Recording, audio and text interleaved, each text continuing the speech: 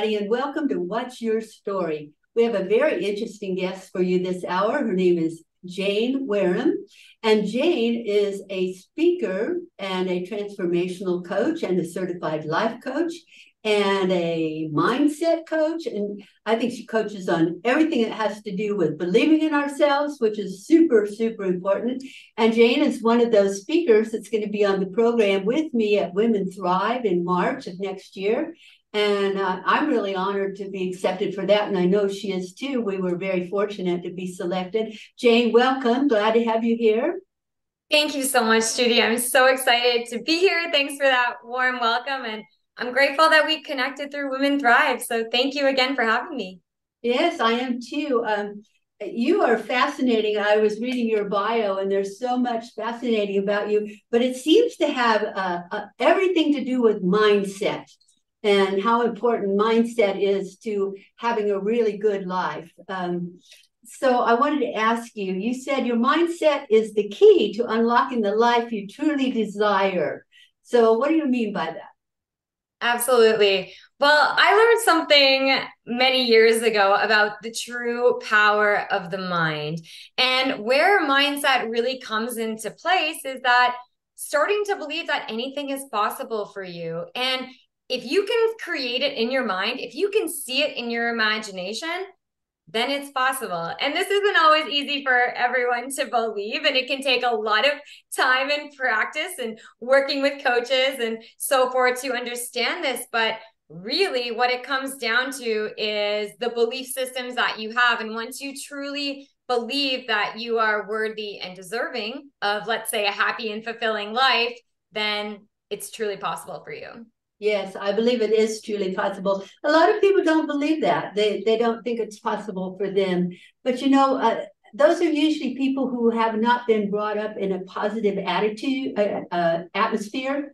They uh, perhaps haven't read all the books that we've read. You know, um, my dad was a salesman, so from the time I was a young girl, I was reading these positive mental attitude books because that's what he had to do to stay positive and out there on the road. Have you read a lot of, of, of self help positive mental attitude books?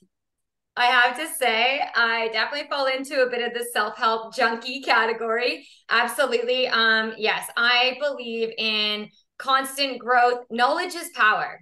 You know, the mind is very powerful and knowledge is power. But I do believe that we need to remember when we are reading, say, self help books. Um, oh my gosh, The Mountain is You. There's so many authors that I absolutely, absolutely love. Um, but one thing I think that's really important to remember is the application of what we're learning. So I think that's what the key difference is between someone that reads a self help book, applies what they're learning, that actually starts to see the results happen in their life versus I was victim to this too. I used to do this too, consistently trying to absorb more and more and more information, thinking the more you know, the better you'll be. Which, sure, but if you're not actually putting anything into place, taking action, or I like to say inspired action, if you're not doing that, well then you know the results may you may not get the results that you want but yes i absolutely similar to your father and what he instilled in you self-help books are absolutely can be amazing it's just important to apply what you're learning yes they are now reflecting on your journey what life experience have shaped have shaped the person that you are today yeah, so as I've really reflected back on my journey, and I've been doing a lot of this in the last few years, I'm doing a little bit more soul searching. Something that's really interesting that a lot of people don't really know about me is I have a twin sister.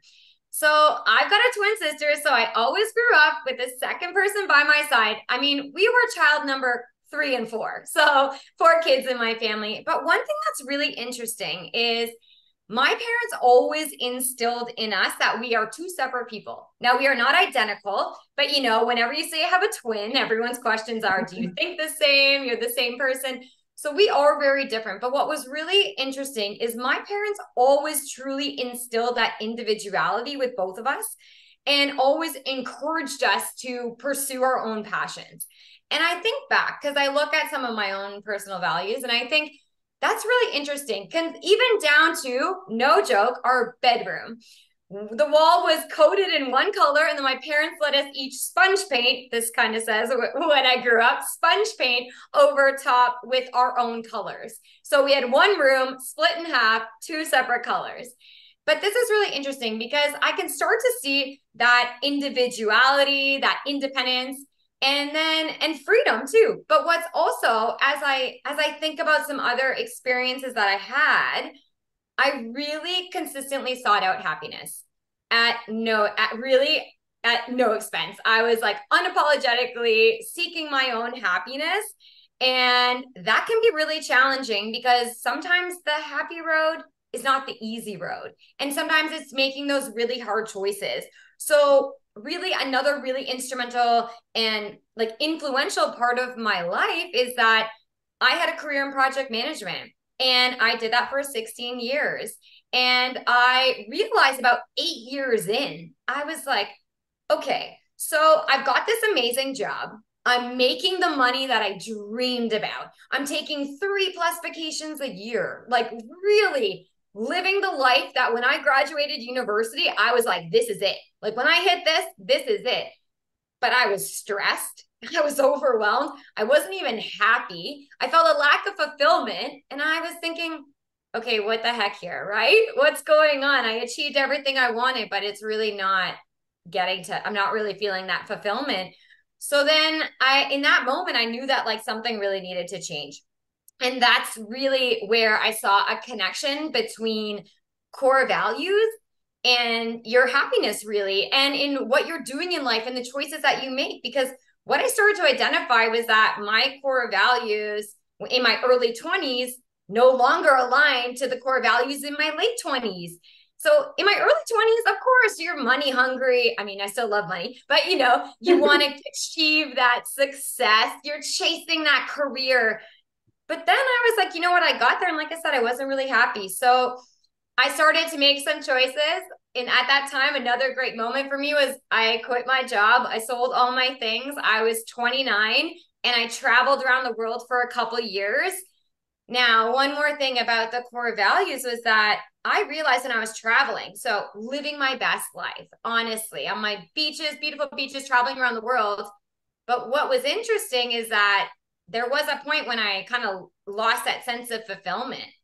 And I started to realize that like, okay, I'm missing some fulfillment, I'm missing some belonging.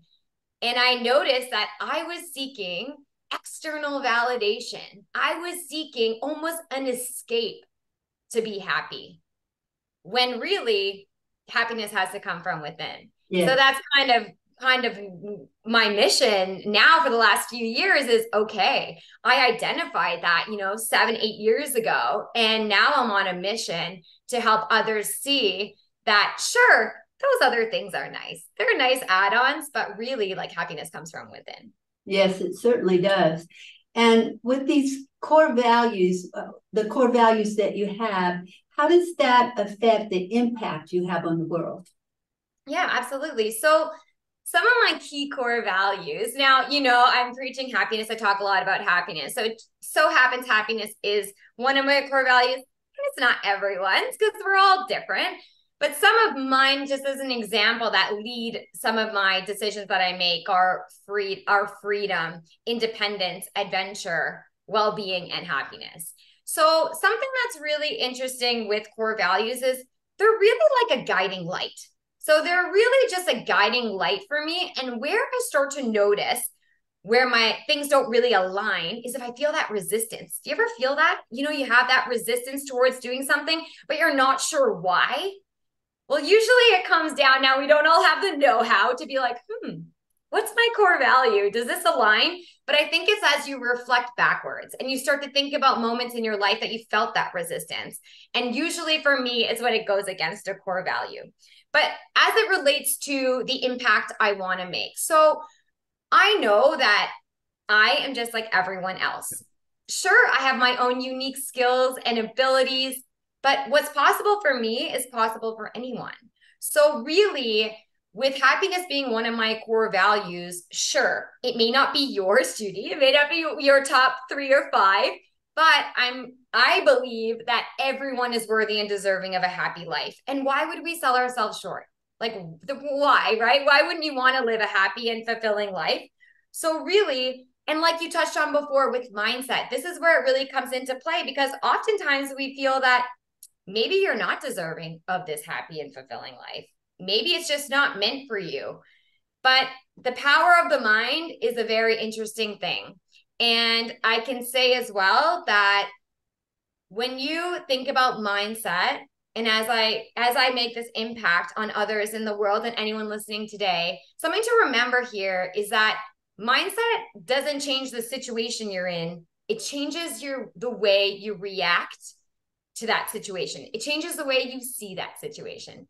So the impact really I'm looking to make is even if right now, like you mentioned before, Judy, that sometimes your surroundings are making you believe something else. I'm here today and want to share that even if you're unhappy in your surroundings, you're worthy of happiness, you're deserving of it. And by just making this shift in your perspective, even the slightest shift to see a glimmer of light, if you can see the smallest glimmer of light at the end of your tunnel, that's enough to really start making your way, finding your momentum towards a happier life. So, really, you know, it's those shifts in perspective that I'm really hoping to make a positive impact on. Yes, in fact, uh, Dr. Viktor Frankl wrote in his book "A Man's Search for Meaning." He was a he was a Holocaust victim, and mm-hmm. and he was there, and he said that even in those circumstances of being in a concentration camp, that you have the power to choose the way you look at it and the power to choose the way you're going to deal with it. And uh, I love that book. I've read it a million times and I recommend it to everyone because it really helps you take a, a look at what your mindset is, doesn't it? 100%. Yeah. And that is a brilliant example. I am very familiar with that as well. And that story, like of him even just writing the oh man that story in the holocaust is just truly inspiring. If someone thinks that they are in a not good situation right now that will maybe humble you a little bit yeah, to well, see that it, it could, be, it could be it could be worse couldn't it? It could be a yeah, lot worse. Absolutely. uh, a lot of people are suffering from a lack of confidence uh, a lack of motivation. I and i'm finding that as i grow older my friends who are older seem to be losing their confidence instead of gaining it. What's that all about and what can they do about it? Yeah, absolutely. I mean, this is something that I see with every client I work with. Absolutely every single client, they come to me and they're like, I feel I'm not feeling confident. I'm feeling low energy. I have no motivation. What is wrong with me? Right. So, some of the key challenges, like some other, I'm going to talk about a couple challenges that I really see and I'll give some solutions on how you can overcome that because really I'm looking to help here, you know? So, one of the things that I see where we lose motivation is where you have a lack of organization. So, when I say lack of organization, I feel like I, I'm saying it as if life is very hectic, stressful. Maybe you feel you got a never ending to do list and there's never enough time I'm sure a lot of people can relate to that type of life. Now, when you have a lack of organization, so if you're trying to build motivation, build confidence, maybe you're that's probably in some aspect of your life. So maybe let's take health and wellness as an example. You're looking to build your confidence, you want to start moving your body more. Maybe you're from the era that you believe you should be on a diet and be doing a lot of exercise. So you start adding more to your plate that becomes very overwhelming if you're already overwhelmed. So, one of the strategies on overcoming this like feeling lack of organization is creating order in your mind first. So, what I like to do with my clients is say less is more. So if you're in a, if you're listening right now, watching this, and you're feeling this stress and overwhelm, you're feeling there's not enough time in the day. Remember, okay, less is more. Let's do a little audit of our schedule. Let's do an audit of your day. Where is your energy going? Right. And then something as well, I think is great to think about is okay, if you were more organized, if you were more confident, what would you be thinking? What would you be doing? And so start doing some of the things that maybe that type of person would do. Maybe they'll organize their calendar. Maybe they'll prioritize time for them, right? So these are some ways in which you can start creating some order. I think another major reason why people start to feel low confidence and lack of motivation is they're believing an old story about themselves. Now, this could be a whole episode in itself. So I'll try to keep this one brief for you, Judy. But really, what it comes down to is when I say you're believing an old story about yourself. So maybe in your past, you behaved in a certain way, right? Maybe you always lacked motivation. Maybe you often lacked motivation. Maybe you found you had a lot of highs and lows in your life. Maybe you never felt confident. Like you could be any age and never really feel confident. The thing is, you don't have to believe that. It's hard not to, but you can start working towards creating a new story for yourself. So this all starts and with working through, you got to think about some of your self talk. How are you talking to yourself? Is it in a negative way? And then start thinking, okay, how can I surround myself with more people that are going to uplift me, right? How can I get myself out of this headspace, which can be very challenging? And, you know, how can you do that? And I think as well is when you're when you're starting to focus on rewriting your story. So every day we can we have a choice.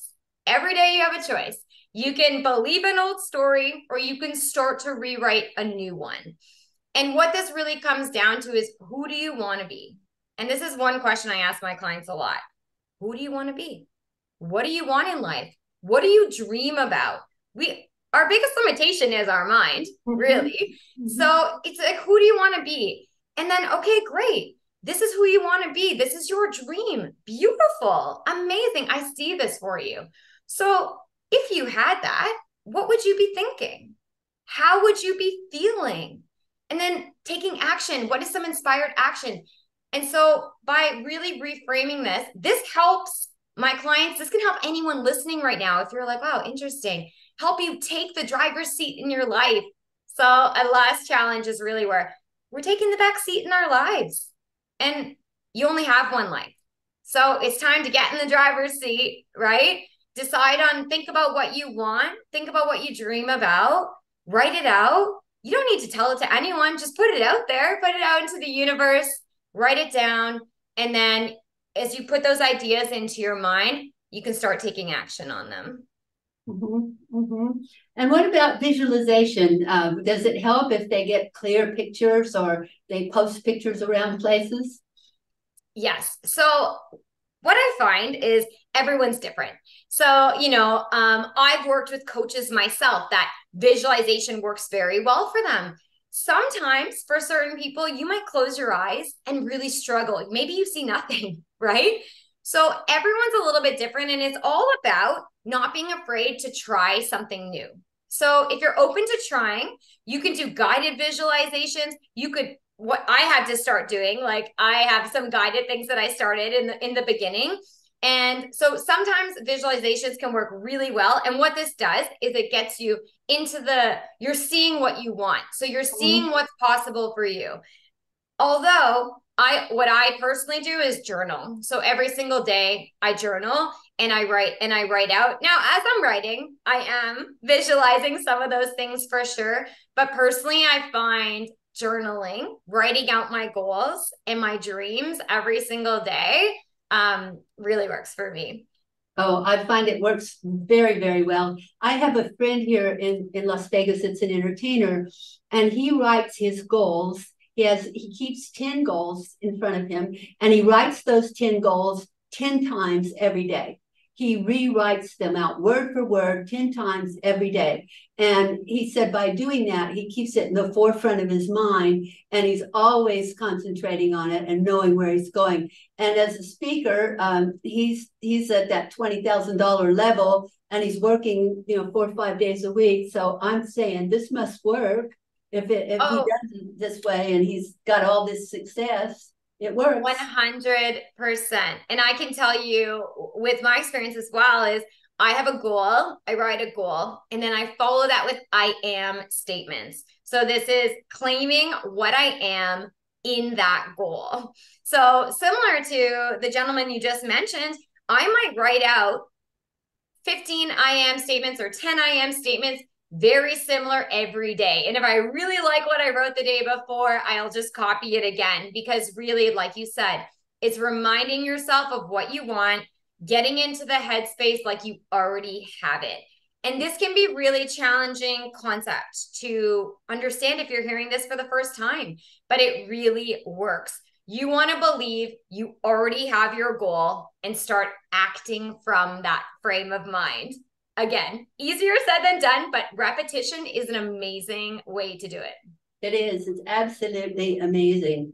So, um, to to create a more meaningful and fulfilling life, um, what can people do? They they can write their goal, they can visualize it, they can take action on it. What else should they be doing? I think the number one thing, so those are great as well. I think the number one thing is to l- remember that happiness comes from within. So it's truly about reconnecting with yourself. And that can be challenging. It's hard to look within, get a little bit vulnerable with yourself, but that I think is the most important thing. So remember that your happiness and fulfillment comes from within. So when you start to reconnect with your passions, reconnect with your dreams. And when I say passions and dreams and joys, I mean as simple as what puts a smile on your face? What puts a smile on your face? You know, sometimes even reflecting back to what we liked in childhood things that you enjoyed as a child. As adults, we kind of lose that playfulness. I know personally, I'm a little no nonsense. So I'm not quite so silly. And so I know that I can get caught up in that seriousness. So remembering to reconnect with that. I think then once you've reconnected with what brings you joy, so you've got a list of things that bring you joy, then think, how can I add a variation of this, some small aspect of this into my daily life? So for me personally, being out in nature, brings me a lot of joy, brings me a lot of peace and calm, which is what I really love in life. So I tried to get out. Even today, I only had time for less than 30 minute walk. After this, I'll be getting outside um, for a walk down by the waterfront. So incorporating some of those joys, even for five minutes into your day, very, very, very important and will really help. I think making time for you. So we make so much time for everyone else. We prioritize most things above ourselves. I believe making time for yourself is just as important as doing your job. So, whatever your job is, if you're blocking time for your job, block time for yourself. And it doesn't necessarily have to be every day. If you could spare five minutes a day, amazing, but at least a couple times a week. So, making time for yourself is key. Having an open mind. So, like you said, you know, we both very well read we we do self-help. So open your mind to a different perspective. Open your mind to the fact if you're in a situation right now that you're very unhappy open your mind to the fact that there is a better way and there is a happier life ahead of you. So just having like i said that glimmer of hope is the beginning. Um and then i think two last things are really finding a community.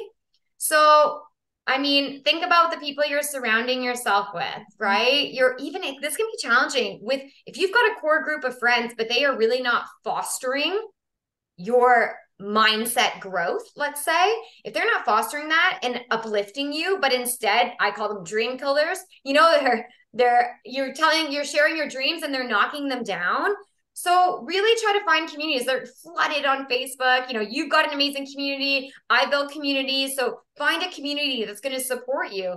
And then as well, what I find beneficial is working with a coach. Like I work with a coach. I truly believe in it. It's how we get ahead. It's how I break through my limiting beliefs. I've got fears. I've got doubts. Those things come up every day. But you know, it's like having the tools and that support to work through it. Yeah, I work with the coach as well. And I very often have people say to me, why do you work with the coach? You are a coach, you know, but but it's so important to have someone outside of myself that can see objectively what I'm dealing with and say, well, what do you think about this? Or what do you think about that? And make me think differently. Because it's I, I believe having a coach is one of the most important things we can do in the world. I, I fully agree. And I think as well as as coaches ourselves, you know, we we understand the value in it. Like we we see the value. There's so much personal growth. I agree with you. I've made leaps and bounds having a coach because I do need help to work through my own my own things. We all do. So I think it's really important and great to see that, you know, you've had the same success with coaches. And and the other thing that's interesting to me is as we live our life, as we get older, we go through different phases of life. And so the people who are around us, like you were saying a minute ago, they may be really good for one phase of our life, but as the life changes, they may not be good for the next phase. And sometimes we hang on to people too long. People who are negative or, or they do kill our dreams we'll hang on to them too long. And and I think there comes a point where you have to say enough and you release them and you move on. You don't have to be unkind, but you just have do you feel the same way about that? Oh, one that absolutely, absolutely. And it can be really challenging when one of those people is like in a very tight circle of yours, you mm-hmm. know? And that can be very challenging. And I think as well, like like I said before, we have a choice. And so I like to say when things aren't a match to me anymore, it's not about saying to this person, you're not a match to me anymore. I just think like a nice natural distancing. So I just selectively choose how much energy I'll give this person and in what types of settings. So maybe it's more in a group setting that I'll see them versus giving one-on-one time because I know that their energy brings me down and it's not exactly the type of energy I want to be around. So I totally agree. And I think it's important to assess who your circle is because they absolutely will hold you back. They totally will. And you know, for for you and I in the communities that we're in and how we met, like the positivity of those circles makes you truly feel unstoppable. Exactly. I mean, look, I'm here with you now. I'm like, this is amazing. These are dreams coming true right here, right now. Yeah, this is a really wonderful group, Women Thrive. I've uh, I felt so honored to be a part of it because all of the women are so different, and yet they're so positive and they're making a difference in the world. And I just feel like this summit that's coming up in March is going to be such an incredible experience that every woman I know should be a part of it. No doubt. I am so inspired by everyone. Like you said, we're all we're all different but we're cut from the same cloth almost you know? And it's just it's so inspirational and it's just such a blessing to be a part of it. And i totally agree that every every woman out there that wants to feel inspired and empowered definitely should come and we'll be definitely sharing more information on that when it gets closer to the event. Yes we will share a lot more information. Um, and talking about sharing information let's tell uh, my audience how they can get in touch with you in case they're interested in having you work with them in some way as a coach or um, uh, however you know have you speak to their group or whatever. Let's tell them how to get in touch with you yeah, absolutely. So you can check out some of my services on my website, which is www.momentumbyjane.ca. We'll share the link with them as well, I'm sure. Yes. And um, so on there, you can see information about coaching packages that I have, as well as um, workshops and speaking opportunities. So I work with corporations. I come in and I do public speaking and workshops that focus around mindset. Um, so those two different, two new ways and exciting news. I haven't even really announced this to anyone, but I'm going to be launching a podcast this month. So that's oh, going to be really, really exciting. Um, so that's going to launch in about 21 days. Um, so I'll be having a podcast as well. And the option too, as well, it's going to be the Jane Wareham podcast.